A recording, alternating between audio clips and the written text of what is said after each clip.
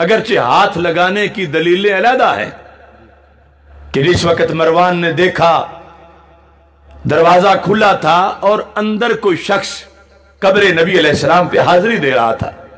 उसने दूर से देखा और देखकर बड़ा गुस्से में आया। अतदरी माता फालो तुम्हें पता है कि तुम क्या हरकत कर रहे हो?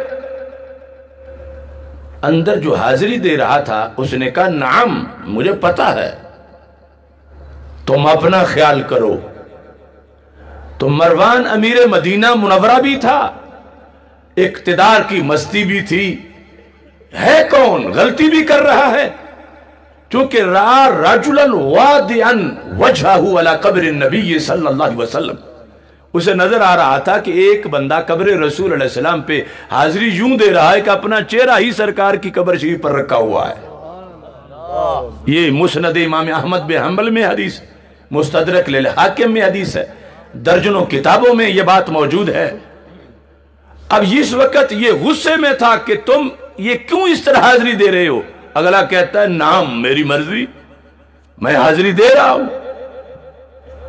आगे जिस वक्त पहुँचा, क्योंकि अगर कोई जाहिल और शरीयत से बेखबर शरीयत की बगावत कर रहा हो तो ज़ाहिर है कि उस पर तो सख्ती करनी चाहिए। तो ये सरकार के कब्र शरीफ पर अपना माथा रख के हाजिरी देने वाले को जब आगे होके देखा मरवान ने, इजा हुआ अबू अयूब अल अंसारी रदी अल्लाह हो तो देखा, ये कोई मलंग जाहिल तो नहीं है, ये तो मेजबान रसूल सल्लल्लाहु अलैहि वसल्लम, हज़रत अबू अयूब अंसारी रज़ी अल्लाह तो मरवान घबरा गया कि मैंने सिहाबी को रोका सिहाबी को टोका जिन्होंने सरकार अलैहि वसल्लम से दीन पढ़ा, और ये चंद निशानियाँ बाकी रह गई हैं सिहाबा की, और अबू अयूब अंसारी उनमें से हैं। ये हाजिरी दे रहे थे, और मैंने ये कहा, तदरी माता फलो कि तुझे पता है तू क्या हरकत कर रहा? अब हज़रत अबू अयूब अंसारी बोले, कहते हैं, तुम अपना नज़रिया ठीक करो, मरवान जे तो रसूल अल्लाह सल्लल्लाहु अलैहि वसल्लम वलमातिल हजर। मैं किसी पत्थर के पास नहीं आया, मैं तो अपने नबी के पास आया हूँ। यहाँ उन्होंने दो जुमले बोले, एक पॉजिटिव, दूसरा नेगेटिव। जे तो रसूल अल्लाह सल्लल्लाहु अलैहि वसल्लम। मैं तो अपने रसूल सल्लल्लाहु अलैहि वसल्लम के पास आया हूँ। वलमातिल हजर, मैं पत्थर के पास नहीं आया। अगर सिर्फ़ इसमें गौर करें आप तो ये बात आप किसी को अच्छे तरीके से समझा सकते हैं कि अब रुवे ज़मीन पर कौन से लोग हैं जिनके दिलों में सिहाबा वाला अकीदा रहता है?